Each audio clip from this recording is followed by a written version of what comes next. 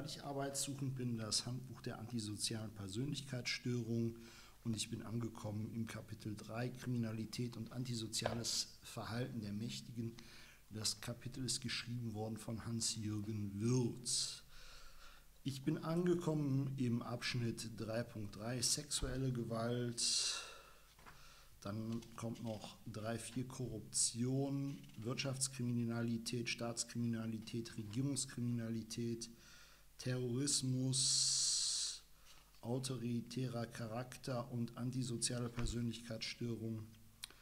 Und dann kommt Prävention antisozialer Tendenzen. Ähm, ich Uhr, damit das nicht zu lang wird.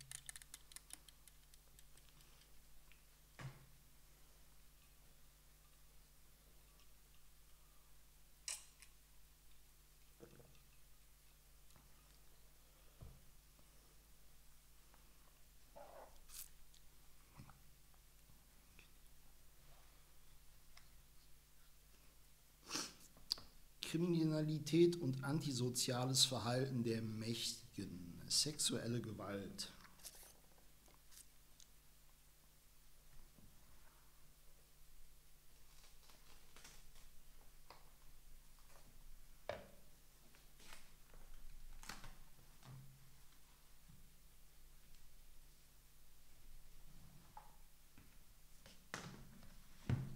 So geht's, so kann man lesen. Manche Männer in Machtpositionen nutzen ihre Verfügungsgewalt auch dazu, über Frauen sexuell zu verfügen. Die Emanzipationsbewegung der Frauen hat diesen Tatbestand nachhaltig kritisiert. Unabhängig davon, wie solche Handlungen im Einzelnen unter moralischen oder auch juristischen Gesichtspunkten zu bewerten sind, bleibt festzuhalten, dass die destruktiven Auswirkungen auf die betroffenen Frauen, auf die Männer in Machtpositionen und ihre Karriere, auf ihre Familienangehörigen und auch auf das Amt, das sie repräsentieren, die politische Partei, der sie angehören, angehören und die sozialen und politischen Gruppierungen und Ideale, die sie vertreten, von beachtlichem Ausmaß sind. Macht verleitet zu der Fantasie, Abhängigkeit verleugnen zu können und die Möglichkeit, autonom zu sein, illusionär zu überschätzen. Das findet man bei Benjamin 1996.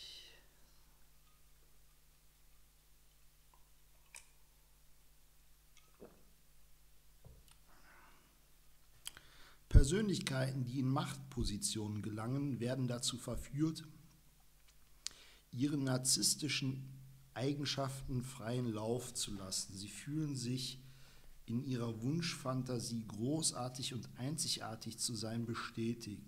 Ihre narzisstische Selbst- und Weltsicht erhält durch die gesellschaftliche Position von Macht gleichsam eine Bestätigung in der Realität.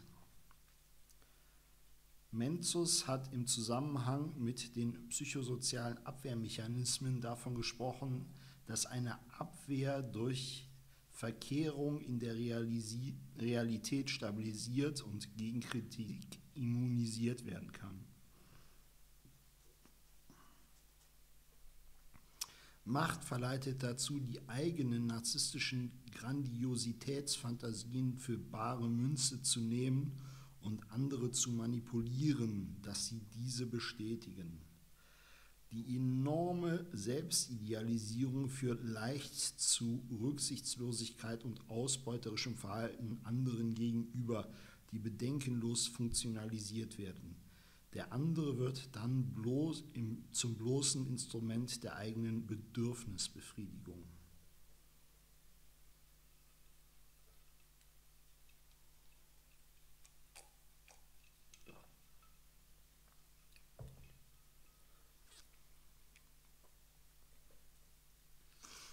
Die Überstimulierung des grandiosen Selbst kann bei männlichen Machthabern zu einem Kult um die eigene, in Klammern auch sexuelle Potenz und zu sexistischen und übergriffigen Handlungen gegenüber untergebenen Frauen führen.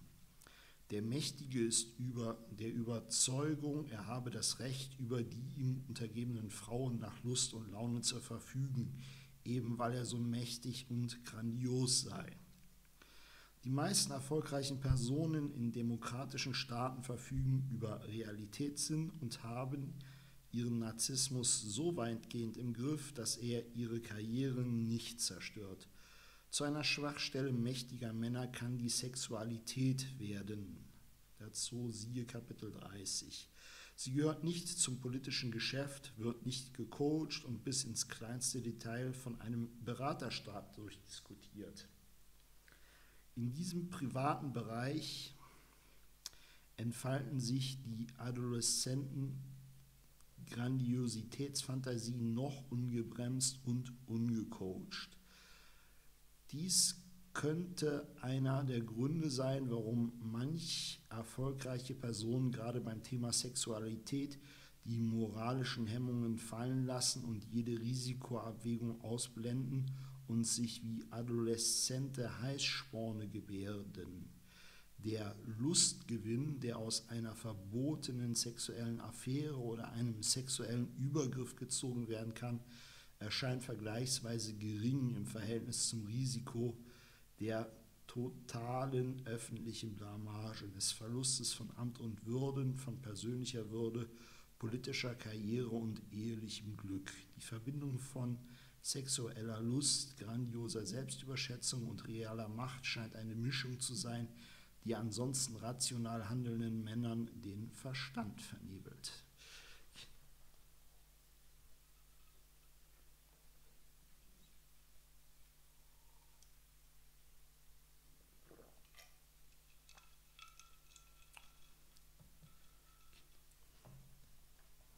Korruption. Korruption ist es ein Abschnitt im Kapitel Kriminalität und antisoziales Verhalten der Mächtigen. Korruption. Korruption gehört zu den am weitesten verbreiteten Formen antisozialen Verhaltens. Ihre destruktiven Auswirkungen bestehen nicht nur darin, dass sie Milliardenschäden verursacht, sondern auch darin, dass sie soziales Verhalten unterhöhlt, das Rechtsbewusstsein in Frage stellt, Fairness und Gerechtigkeit außer Kraft setzt, Chancengleichheit untergräbt und Willkür, Amtsanmaßung und am Machtmissbrauch Tür und Tor öffnet. Das steht bei Krieche und Thiel 2011.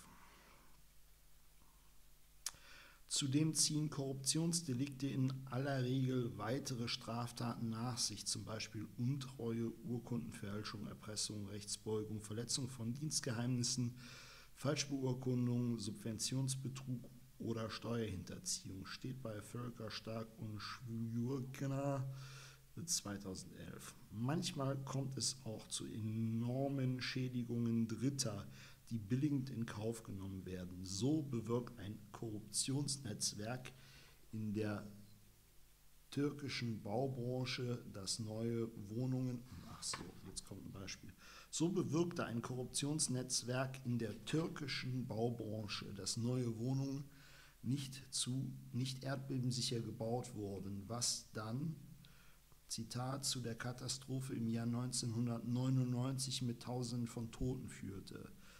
Zitat Ende. Das steht bei Karstedt 2008 auf Seite 17.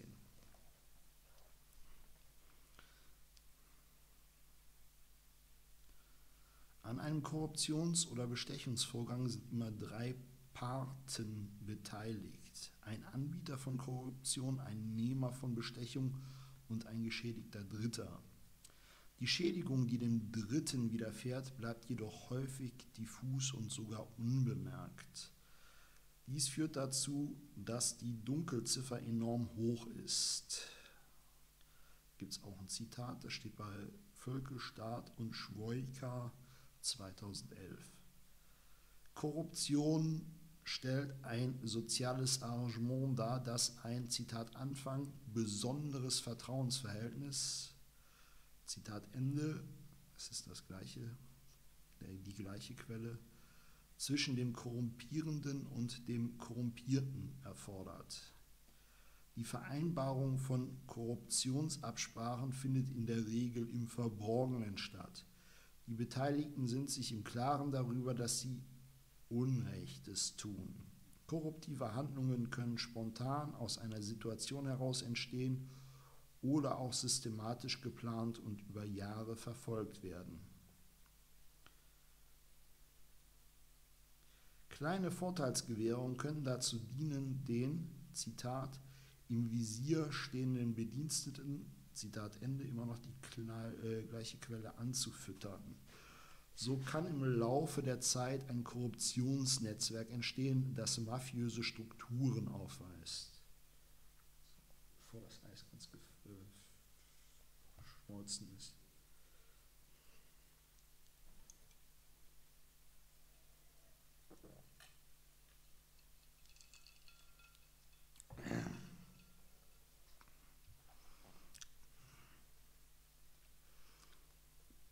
Im Falle der Korruption wird besonders deutlich, was für alle Formen des Machtmissbrauchs gilt.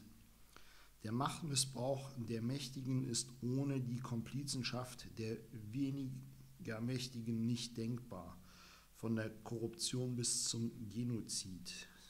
Das steht bei Karstedt 2008.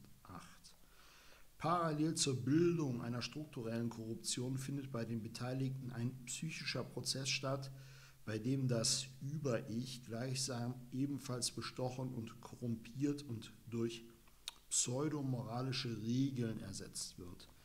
Im Netzwerk der Korruption bildet sich, ein sich eine kollektive Antimoral heraus. Die besagt, dass die konventionelle Moral der Gesellschaft nur für die Naiven und Angepassten da ist die Cleveren aber alles Recht haben, sich ausschließlich nach den Regeln der eigenen Pseudomoral zu richten. Die Mitglieder des Korruptionsnetzwerks machen sich über die Political Correctness der Mehrheitsgesellschaft lustig und feiern einen narzisstischen Triumph, indem sie ihre eigene Korruption als Cleverness und Schlitzohrigkeit umdeuten. So geschah es zum Beispiel, als irische Banker sich in einem Klammern abgehörten Telefonat über die Naivität der EU-Bankenrettung und über die deutsche Kanzlerin lustig machten und eine verballhornte Version von Deutschland, Deutschland über alles sangen. Wie Kernberg beobachtet hat, wie Kernberg beobachtet hat, ist der antisozialen Person völlig unbewusst, dass sie lügt und betrügt, dass sie andere und sich selbst korrumpiert und prostituiert. Und sie weiß auch, dass all diese Handlungen dem gesellschaftlichen Moralsystem widersprechen. Ich lese es nochmal. Wie Kernberg beobachtet, ist der antisozialen Person völlig bewusst, dass sie lügt und betrügt, dass sie andere und sich selbst korrumpiert und prostituiert. Und sie weiß auch, dass all diese Handlungen dem gesellschaftlichen Moralsystem widersprechen. Äh, ich unterstreiche das mal, ich halte das für wichtig.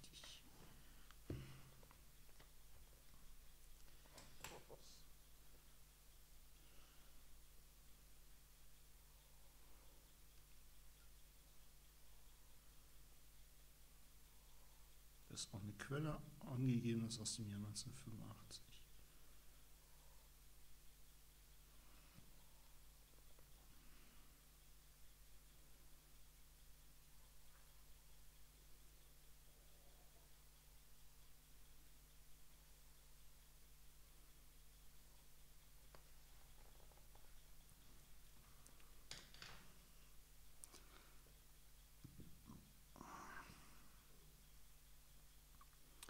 Aber sie fühlt sich diesem Moralsystem innerlich nicht verpflichtet, sondern sie betrachtet es als eine reine äußerliche Handlungsanleitung, dem sich die Cleveren geschickt entziehen und das nur von den naiven, ängstlichen und autoritätshörigen befolgt wird.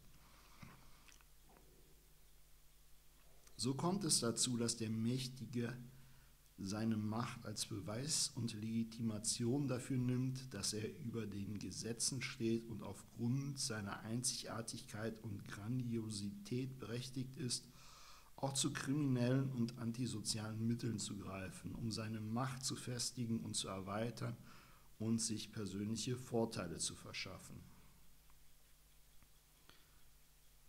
Es ist durchaus kein Widerspruch, dass narzisstischen Menschen nicht selten dazu, dazu neigen, sich sozial zu engagieren oder eine soziale Ideologie zu vertreten. Zum einen soll die demonstrativ zur Schau gestellte soziale Ader den eigenen Egoismus verdecken, zum anderen macht sich die narzisstisch gestörte Persönlichkeit selbst vor, ihr berufliches, gesellschaftliches, politisches Engagement diene letztlich letzten Endes dem Gemeinwohl, dem Wohl der Mitarbeiter, dem Erreichen gesellschaftlicher Ideale. Der Narzisst ist somit mit seinem Projekt der Narzisst ist somit seinem Projekt identifiziert und verschmolzen. Aha. Der Narzisst ist so mit seinem Projekt identifiziert und verschmolzen, dass er gar nicht merkt, wie sehr er das Projekt und die mit ihm verbundenen Menschen für seine eigene Selbstbestätigung oder auch für seine eigenen materiellen und sonstigen Interessen funktionalisiert. Schließlich führt gerade die ideologische Überhöhung, das eigene Projekt diene vor allem dem Gemeinwohl zu der Auffassung, dass auch antisoziale Mittel zu seiner Förderung als legitim erachtet werden.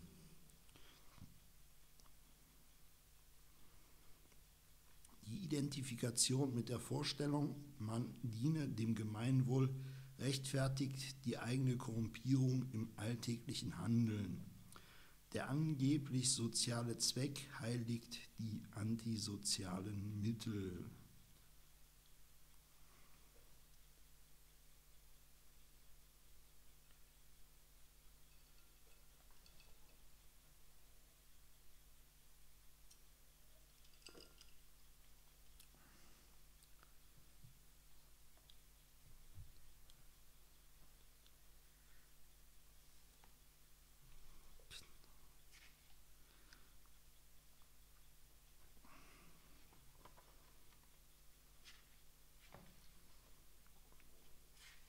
So, jetzt kommt äh, Wirtschaftskriminalität, Staatskriminalität, Regierungskriminalität.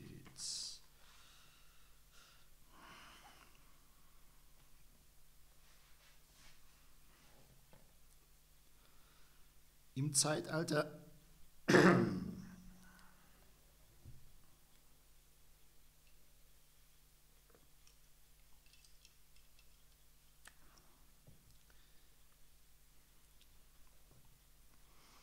Wirtschaftskriminalität, Staatskriminalität, Regierungskriminalität.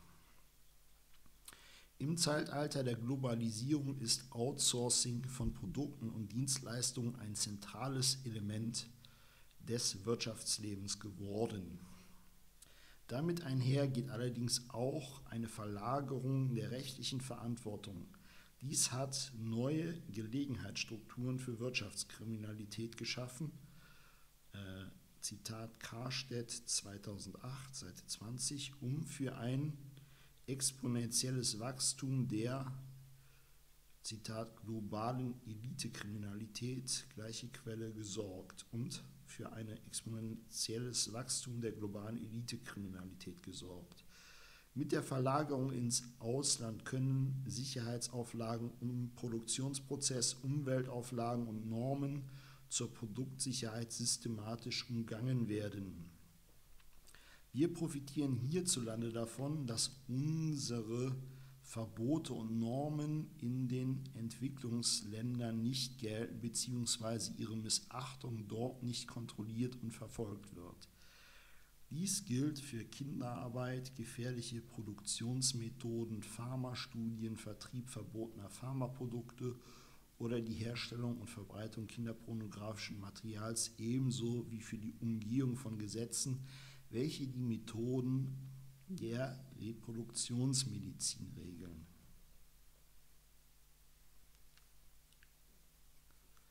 Die Flucht in Steueroasen, die immer raffinierteren Finanzprodukte, die nur dazu dienen, Einkünfte vor dem Fiskus zu verstecken und der Besteuerung zu entziehen, sind exemplarische Beispiele für ein Verhalten, das zynisch als kreative Gesetzbefolgung, kreative Gesetzbefolgung ist ein Zitat, die gleiche Quelle wie eben, bezeichnet wird. Große Anwaltskanzleien bieten im Verein mit international operierenden Finanzdienstleistern ausgeklügelte Finanzprodukte an, die sich teils im Graubereich zwischen die sich teils im Graubereich zwischen Legalität und Illegalität bewegen, sich andernteils aber auch unverhohlen an der Kriminalität der Mächtigen beteiligen. Gleiche Quelle. Auch international tätige Großkonzerne wie Amazon, Google, Apple und Facebook verlagern ihre Einkünfte systematisch in Länder mit niedrigen Steuersätzen, damit sie weitgehend steuerfrei bleiben. Solche Strategien der brutalst möglichen Ausnutzung aller nationalen und internationalen Regelungen zum finanziellen Vorteil der Aktiengesellschaft können mit einer gewissen Berechtigung auch als antisoziales Verhalten bezeichnet werden. Auch wenn das Konzept der narzisstischen Persönlichkeitsstörung als Erklärungsmodell hier nicht unmittelbar greift, kann doch die Frage gestellt werden, welcher Firmenphilosophie und welcher Berufs- und Branchenethik eine Firma, Organisation oder Aktiengesellschaft folgt, die solche Strategien verfolgt und welches Menschenbild dem zugrunde